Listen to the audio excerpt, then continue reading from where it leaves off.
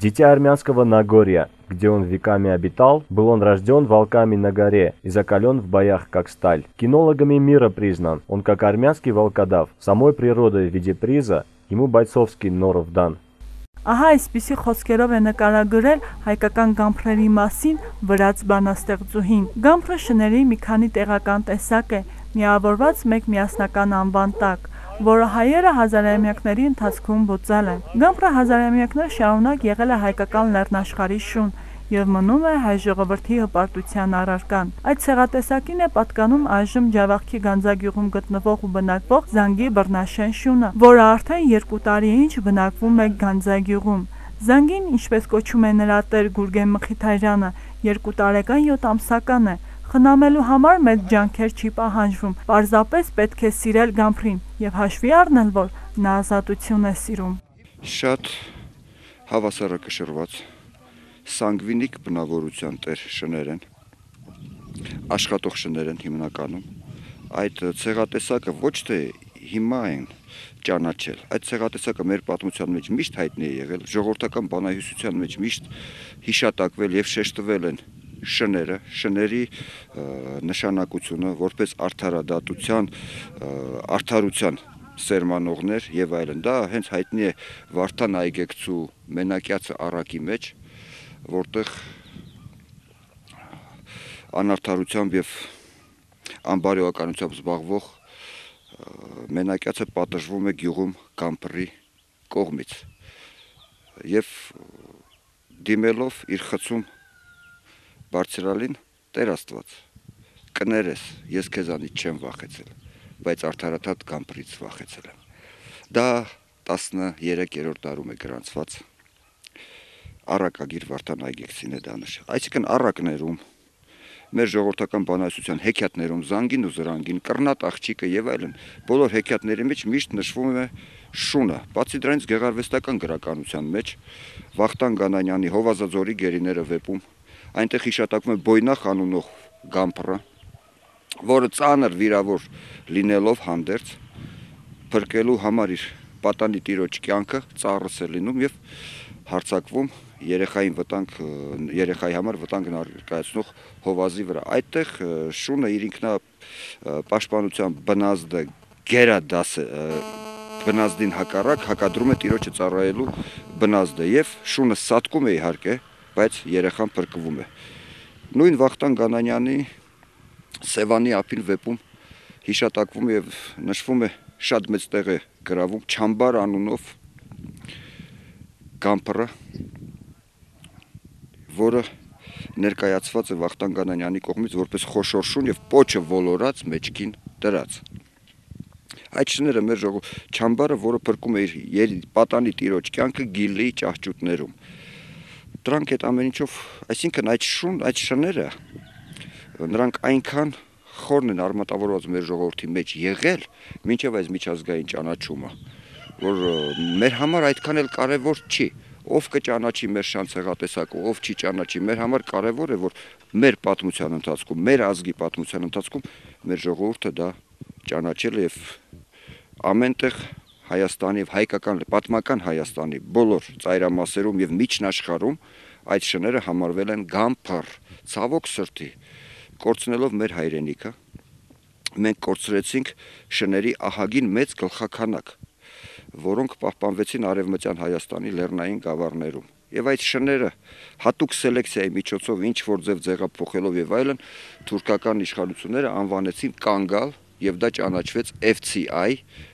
կազմակերպության կողմից, բայց կան անհատ մարդիկ Հայաստանում եւ հայ ժողովրդի մեջ, որոնք ամեն ինչ արեցին, որպեսզի վերականգնեն Գամփրի կորցրած парքը։ Ես ուղղակի օգտվելով այս առիթից շատ շնորհակալություն եմ ուզում հայտնել Տիկին Վիոլետա Գաբրիելյանին,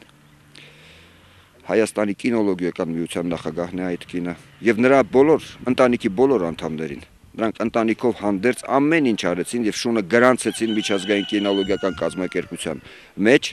եւ շունը ճանաչվեց ամբողջ աշխարհում Գամփրերը իրենց էությամբ շատ խելացի, աշխատասեր, հավասարակշռված եւ հավատարիմ շներ են։ Նույնիսկ հարկ եղած դեպքում կյանքը չեն խնայի իրենց տիրոջը օգնելու կամ փրկելու համար։ Գամփր շները ունեն եւս մեկ հատկություն՝ երբեք թույլ չեն տա օտարին մտնել իրենց տարածք։ Երբ մեր նկարահանող խումբը փորձեց մոտենալ էքշանը, որպիսի նկարահանում կատարեն, շունը սկսեց ագրեսիա ցուցաբերել։ Ինչպես նշում է Գուրգեն Մխիթարյանը, պատճառը մեկն է, որ մենք մտել ենք նրան պատկանող տարածքը։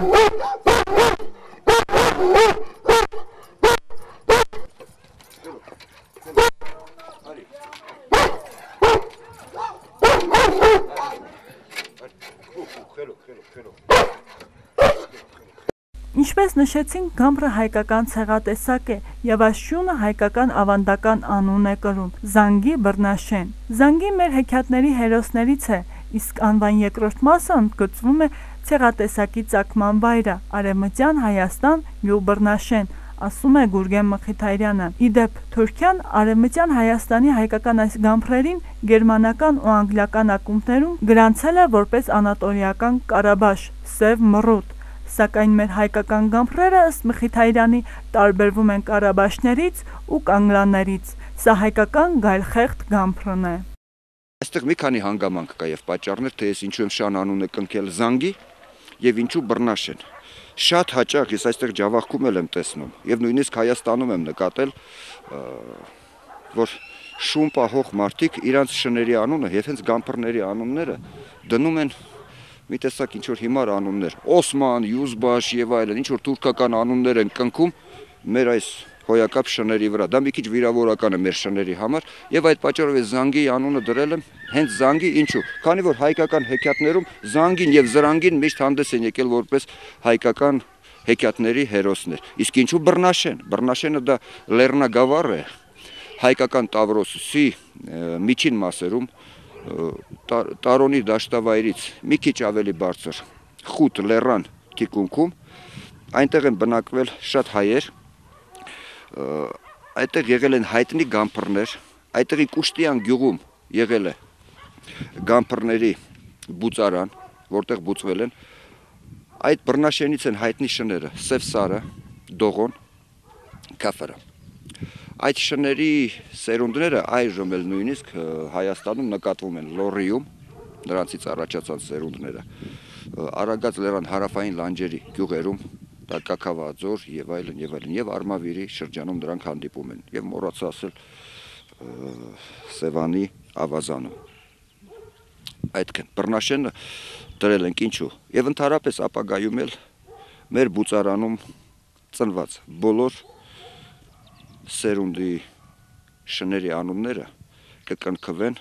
մեր պատմական կորուսյալ հայրենիքի գյուղերի, քաղաքների, գետերի, լեռների, բլուրների, լճերի անուններով, որ เป զի գոնե դրանով կարողանանք վառ պահենք մեր ժողովրդի մեջ մեր կորցրած հայրենիքի հիշատակը։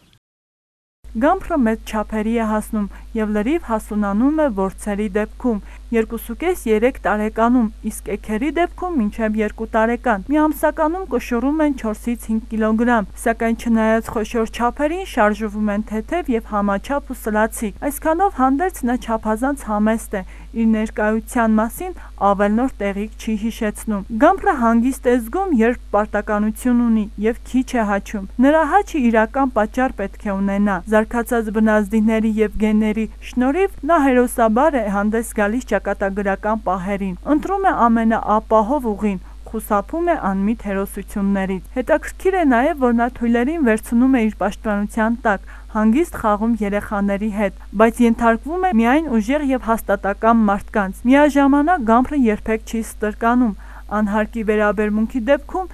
ներփակվում եւ արհամարանքով է լցվում Դժվար է հետ նվաճել նրա վստահությունը։ Այս է պատճառը, որ ուզես չուզես Գամփրի հետ հարգանքով պիտի վարվես։ Կարևոր մի նկատառում էլ աշխարհի հնագույն շուն լինելով հայկական Գամփրը ունի ժառանգական գենետիկ հիվանդություններ։ Հեշտ է հարմարվում բնակլիմայական դաժան պայմաններին։ Շները շատ աշխատող խոշոր ձիգ շներ են ամուր կառուցվածքով կարճամաս գանգ բռն է այժմ ճանաչված միայն Այսինքն մազի երկարությունը կարճամազ գամփրի դա 2 սանտիմետրից մինչև 6 սանտիմետր երկարությունն է։ Քաշը շների աշխատող քաշը 65, 66, 67 մինչև 70 կիլոգրամ եւ մի քանի կիլոգրամ էլ ավել կարող են լինել։ Էքերի քաշը տատանվում է 45-ից մինչև ասենք 55, 60 կարող են լինել էքերը, ավելի զիջում են չափերով։ Բարձրությունը կոնկրետ այս զանգին դուք տեսաք զանգի բարձրությունը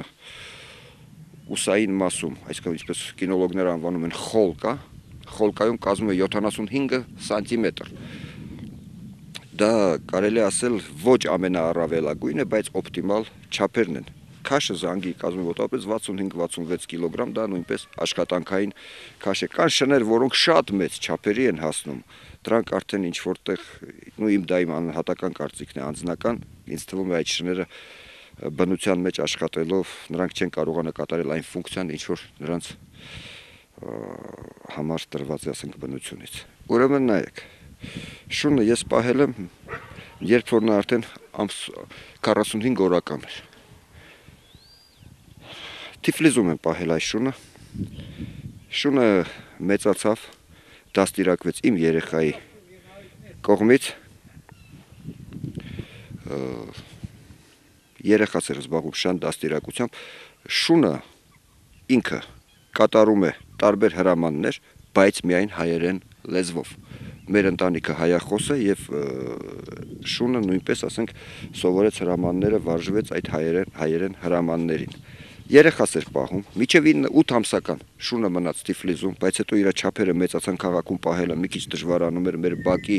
տարածքը այդքան թույլ չէր տալիս, եւ շունը տեղափոխվեց իմ հավատարիմ ընկերների մոտ այստեղ Գանձագյուղը։ Եվ նա այստեղ կատարում է իր պարտականությունները շատ լավ, շատ լավ, վերին աստիճանի լավ։ Պահպանում է եւ տարածքը, եւ անասուններին, եւ երեխաներին, եւ ամեն ինչ։ Շների ստանդարտիզացման միջազգային ցեղային հանձնաժողովը Վիոլետա Գաբրիելյանի նվիրական ջանքերի շնորհիվ ճանաչվեց հայկական գելխեղտ գամփրի ազգային ցեղատեսակը, բնութագրեց ստանդարտ եւ գրանցեց ընդհանուր գրանցմատյանում 204 համարի ներքո որպես աշխատող խմբի պատկանող շուն ծագման երկիրը Հայաստան։ Գամփրի բացառիկության մասին շատ խոսվեց նաև 2012 թվականին Վրաստանում կայացած ցուցահանդեսում, որտեղ ներկայացված բոլոր տեսակների շների մեջ մեր շունը գրանցվեց թակավորի տիտղոսը, ինչպես նաև Հայաստանում կայացած մրցման ընթացքում զանգին ճանաչվեց բացարձակ հաղթող եւ արժանացավ աշխարհի չեմպիոն ու դարձավ ոսկե մեդալակիր։ Ինչու ընտրվեց Ջավախքը։ Ջավախքը դա Հայաստանի եւ Վրաստանի միջև սահմանամերձ տարածք է։ Փաստորեն իր բնակլիմայական պայմաններով նա շատ նման է Հայաստանին, Հայաստանին, էկոլոգիայով, աշխարհագրությամբ եւ այլն։ Իսկ էնդեմիկ շները ավելի լավ են զարգանում այնտեղ, որտեղ որ գենետիկորեն դրված է նրանց հիմքը։ Ջավախքը շատ մոտ էր գտնվում Հայաստանին։ Սա առավել մեծ հնարավորություն կտար պահպանելու այս շան տեսակը հաջորդ սերունդներում։ Եթե շները եւ ընդհանրապես ցանկացած կենթանի էակ տեղափոխվում է մի տարածքից մյուս տարածք, որը աշխարհագրորեն տարբերվում է, շան մեջ կատար կենթանու մեջ կատարվում են մուտացիաներ, գենետիկ մուտացիաներ, խրոմոսոմային խախտումներ եւ այլն, քանի որ գիտեն կենսաբանության 9-րդ դասարանի դասընթացից, որ ֆենոտիպը միշտ ազդում է գենոտիպին մուտացիաները շունը վերջի վերջո արդեն 5-րդ 6-րդ սերունդում նա արդեն կարող է գամփր չլինել։ Դա է։ Ուրեմն դուք տեսակ, մենք ունենք շատ լավ ворց շուն։ Դա մեր զանգի բռնաշենն է, հայտնի շուն է ձեր համար էլ, բոլորի համար էլ։ Տեսակ մեր երկրորդ էքին, որը 10 ամսական է առայժմ, աշնանը գուցե թե արդեն կատարվի առաջին խաչասերումը այդ էքի հետ։ Հայաստանից մենք սպասում ենք մեկ էքշուն, դա Գուրգեն Մխիթարյան Հակոբյանի շունն է, որը գրանցված է կինոլոգիական միությունում Հայաստանի, էք, որը առայժմ 4 ամսական է եւ 1 շաբաթ հետո նա կժամանի այստեղ ջավախք։ Էլի էքշուն ենք սպասում դարձյալ Հայաստանից, ուղակի իմ նախկին հիվանդներից մեկը խոշոր անասնապահական տնտեսություն ունի եւ նրա մոտ կան այդ կամփր ցեղատեսակի շները, որը ասենք գրանցված չի, բայց պետք է դա էլ հաստատվի եւ այլն եւ այլն։ Ինչ վերաբերում է զտարունությանը, ուրեմն զանգին ինքը զանգի այս շանը զտարուն գամփր լինելու հանգամանքը դա ապացուցվել է Երևանում Հայաստանի կինոլոգիական միության նախագահ Տիկին Վիոլետա Գաբրիելյանի կողմից ԻՏԿ կազմակերպության նախագահ Կարեն Նանումյանի կողմից այստեղ Թիֆլիզում ճելուց այդ ԻՏԿ-ն դա ընդգրկում է ամբողջ անդերկովկասյան կինոլոգիական միությունները եւ միջազգային կինոլոգիական փորձագետ զինվորական կան կինոլոգիայի գնդապետ շատ ուժեղ մասնագետ կինոլոգ Ալեկ Լուբեչկայի կողմից, որ ցուցահանդեսի ժամանակ երբ որ Զանգին մասնակցեց Երևանում կայացած միջազգային ցուցահանդեսին։ Զանգին այնտեղից բերել է ոսկե մեդալ։ Ջավախքում հայկական գամփրի պահպանման համար շինաբուծարան կբացվի։ Այդ մասին տեղեկացրեց կինոլոգիական միության անդամ Թբիլիսահայ Գուրգեն Մխիթարյանը, ով այդ նպատակով փորձում է գտնել զտայրուն գամփրեր։ Սրանք հայկական լեռնաշխարհի բնիկ ցեղատեսակներից են, ունեն մի շարք առանձնահատկություններ։ Նրանք հազարամյակներ շարունակ մարդուն ուղեկցել են ամենուրեք անասնապահության, հողագործության, որսորդության, ինչպես նաև ստեղծագործելիս, պատերազմելիս եւ հանգստանալիս։ Գայլախեղտ են կոչվում, քանի որ հոտերն ու նախինները կարողացել են պահպանել գայլերից։ Մխիթարյանի զանգի բռնաշեն զտայուն հայկական գամփրը եւ որպես այդպեսին գրանցված է Վրաստանում։ Այժմ նա մտածում է այս ցեղատեսակի պահպանման մասին եւ այդ նպատակով ջավախ կբերի մի քանի այլ գամփրեր։